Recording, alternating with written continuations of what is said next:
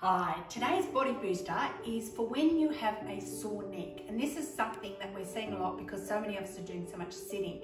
Now, it's very easy to kind of just give your neck a stretch like this, but you'll actually find that sometimes that can give you a bit of a headache.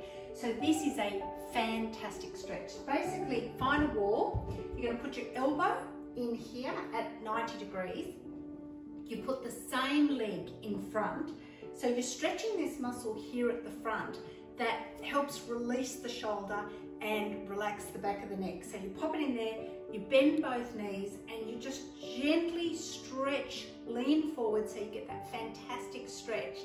And you just relax into it, bending your knees, and you'll find that you'll feel it sort of very strongly, but then as you let go, you relax and release, and it really lets your neck go. Do that to boost your neck when you're feeling a bit tight.